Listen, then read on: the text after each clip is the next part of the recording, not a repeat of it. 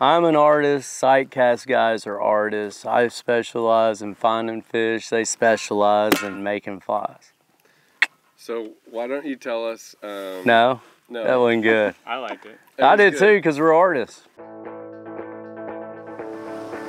What makes Sightcast special to me uh, is that they do understand the Texas water better than anybody. There he is, little bite-sized little bugger. Where's your mama at, Bubba? Huh? I love the company. I love what they're about. I love the family behind it. Two brothers out tying little treats for my little fish. God, that didn't sound good, man. Little fish, big fish. Just look at it. Wouldn't you just look at that. Mmm. I was just trying to do a little shout out, man.